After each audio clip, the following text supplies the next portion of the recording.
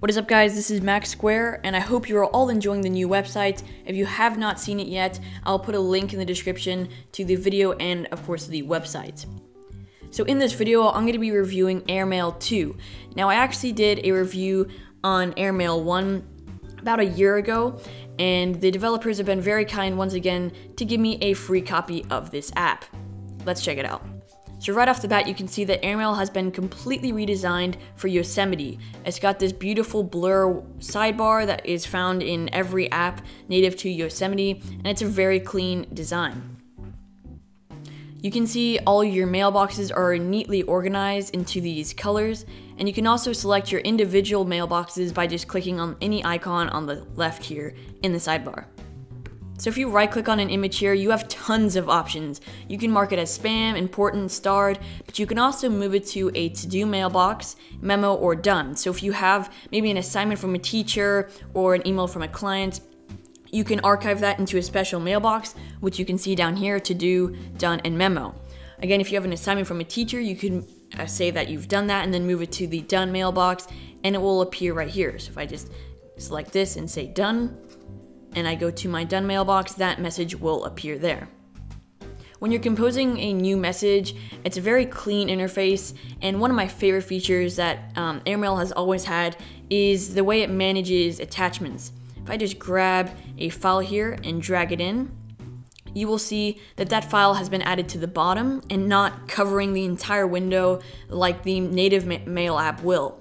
Um, especially with PDFs, the native mail app will blow up the PDF to the full size of the window, and then you usually have to right click and save view as icon, but Airmail takes care of that all for you.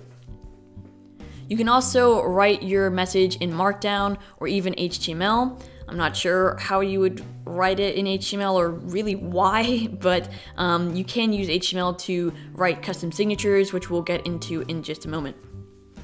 Additionally, Airmail has incorporated a lot of apps, specifically Dropbox and Google Drive.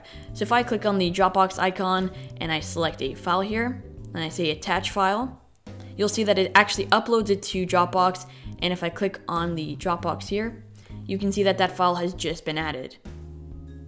Additionally, it'll create a short link for you, and usually you would have to upload the file to Dropbox, right click, say copy link, or even go to the Dropbox website, log in, and get the link, and then come back to the Mail app and paste it in. But this again is handled by Airmail automatically. If you open up the preferences, there are a ton of options as usual with Airmail. One of my biggest things about apps is how much can you customize, which you all know. So if you click on any account and you just open up the preferences, you can see that you can have a custom icon for that mailbox, and you can also select a custom color. And if you do so, you can click on this little icon color square, and then use your native uh, color picker to select any color you would like. And if you head over to the signature tab, you can see that you can customize your signature however you would like. You can use whatever font you want, whatever font size, colors, but you can also write a custom signature with HTML. This has been very helpful for Mac Square because I have the logo and all the fonts and colors that go along with the brand attached to my signature. If you go over to the apps tab, you can see just how many apps Airmail has incorporated, including Google Drive, Dropbox, Box, Droplr, Cloud App, Evernote, FTP, and an open directory. So I have Google Drive and Dropbox enabled, but you can have all of these enabled at once and they will appear in your toolbar when you're creating a message. There are, of course, a ton of options when you're composing from which accounts. You can also specify what notifications you receive and what sound is played when you receive a new message. And just general things like the links opening in the background, but those are pretty general to any mail app, so I won't be getting into those. And now it is time to rate the app. So for concept, I gave Airmail a 5 out of 5, capability 5 out of 5, compliance 5 out of 5, customization 5 out of 5. So for cost, I gave Airmail a 3 out of 5 because at $10, that's just a little too steep. This leaves Airmail at a 23 out of 25 and an awesome rating.